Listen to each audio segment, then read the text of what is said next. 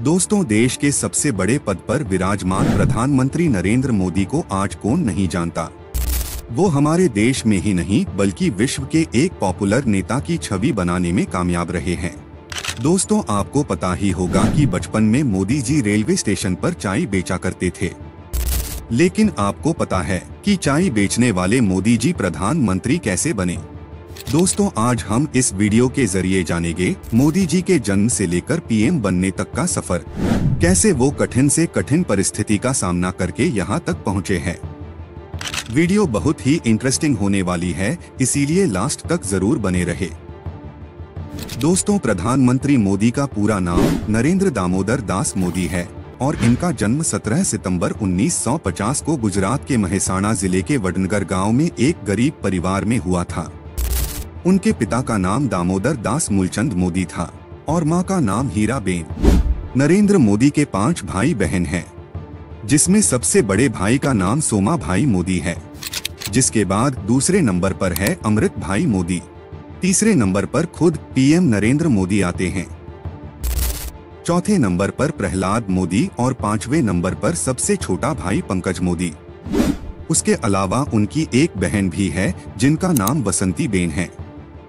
मोदी जी को बचपन में नरिया कहकर पुकारते थे। मोदी जी के पिता रेलवे स्टेशन पर चाय की दुकान लगाते थे, जिसमें मोदी जी भी अपने पिता की दुकान पर उनका हाथ बटाया करते। मोदी जी बचपन से ही कुछ अलग थे, वो दूसरे बच्चों की तरह नहीं थे, उन्हें बचपन से ही देशभक्ति के लिए काम करना बहुत पसंद था। उन्नीस सौ बासठ में भारत चीन युद्ध के दौरान मोदी जी ने ट्रेन में जा रहे सभी फौजियों को चाय पिलाई थी। और उन्नीस सौ पैंसठ के भारत पाकिस्तान युद्ध के समय भी मोदी जी ने वहाँ से गुजर रहे सैनिकों को चाय पिलाई थी। मोदी जी ने गुजरात के वडनगर के ही भगवताचार्य नारायण आचार्य स्कूल से अपनी पढ़ाई की शुरुआत की थी। और वो पढ़ाई में एवरेज छात्र में आते थे।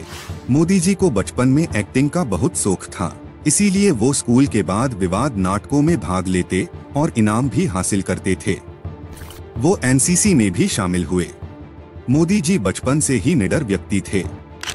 आपको जानकर हैरानी होगी कि मोदी जी ने एक दिन तालाब से एक मगरमच्छ का बच्चा पकड़कर अपने घर ले आए थे। बाद में माँ के समझाने पर उसे वापस तालाब में छोड़ आए।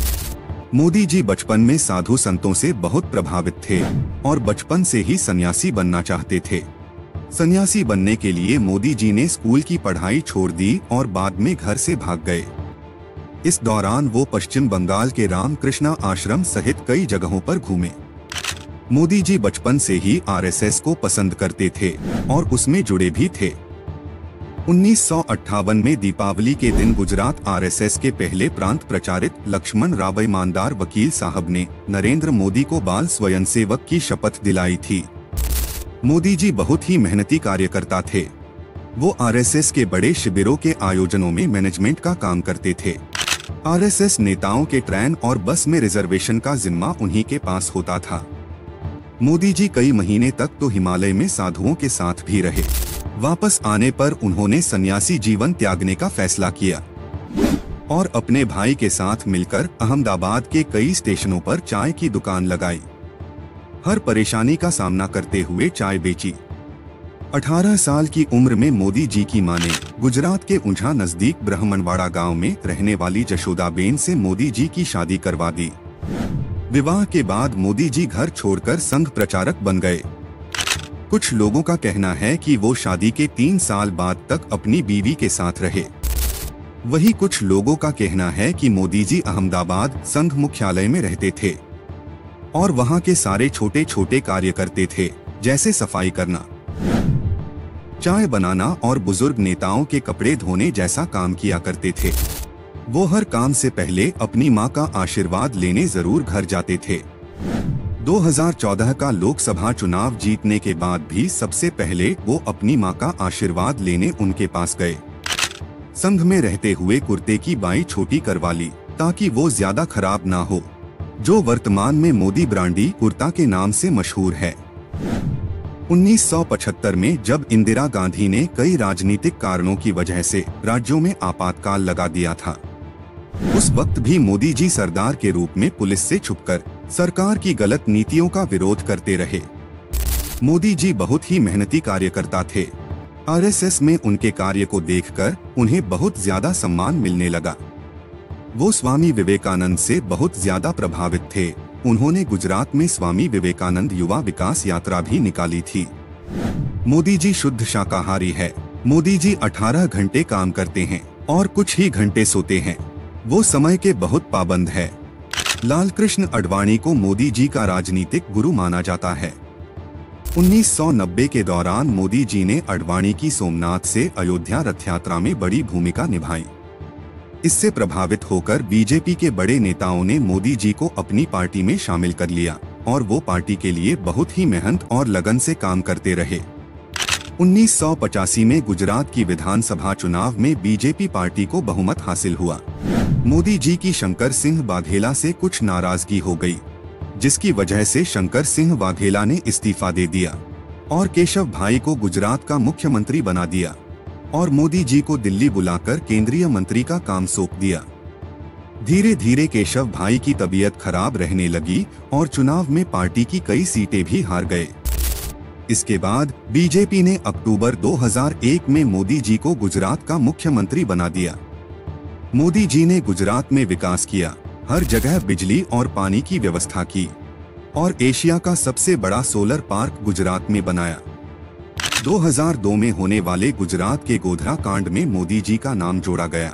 फिर इसके लिए न्यूयॉर्क टाइम्स ने मोदी जी को जिम्मेदार ठहराया।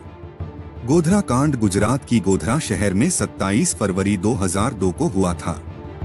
गोधरा शहर में रेलवे स्टेशन पर साबरमती ट्रेन के एस सेवन कोच में आग लगा दी गई थी, जिसमें उनसठ लोगों की जान चली गई। इसके बाद गुजरात में जगह जगह पर सांप्रदायिक दंगे शुरू हो गए। और 28 फरवरी 2002 को गुजरात के कई इलाकों में दंगों ने भयंकर रूप ले लिया और बरासों से ज़्यादा लोग मारे गए। उसके बाद सुप्रीम कोर्ट ने इस दंगों की जाँच के लिए स्पेशल कमेटी बनाई। कमेटी ने पूरी जाँच पड़ताल की और 2010 में सुप्रीम कोर्ट ने कमेटी की जाँच के आधार पर फैसला सुनाया। फैसले में सुप्रीम कोर्ट ने कहा कि कमेटी को दंगों में कहीं भी मोदी जी का कोई हाथ नहीं मिला। मोदी जी ने गुजरात में मंदिरों पर सरकारी कायदे कानून के खिलाफ बनाए गए सभी कानून तुड़वा दिया। इसके बाद मोदी जी की लोकप्रियता गुजरात में इतनी बढ़ी कि लगातार चार बार मोदी जी गुजरात के मुख्यमंत्री रहे। 2013 की केदारनाथ आपदा में क्षतिग्रस्त हुए केदारनाथ मंदिर के पुनर्निर्माण के लिए केंद्र सरकार से मोदी जी ने मांग की। लेकिन उस वक्त कांग्रेस सरकार ने मना कर दिया।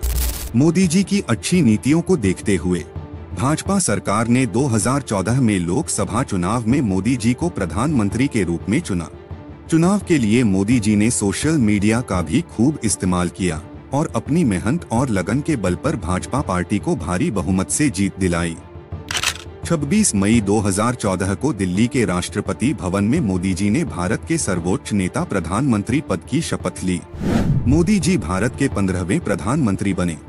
लोगों के लिए वो इतने पॉपुलर नेता बन गए कि दोबारा भी बीजेपी पार्टी को ही बहुमत के साथ जीत मिली और 30 मई 2019 को दूसरी बार भारत के प्रधानमंत्री बने। दोस्तों, आपको क्या लगता है 2024 चुनाव में कौन जीतेगा? कमेंट में ज़रूर बताइए। वीडियो पसंद आया हो तो एक लाइक करके चैनल को सब्सक्राइब ज़रूर करें। मिलते हैं ऐसी ही इंटरेस्टिंग वीडियो में।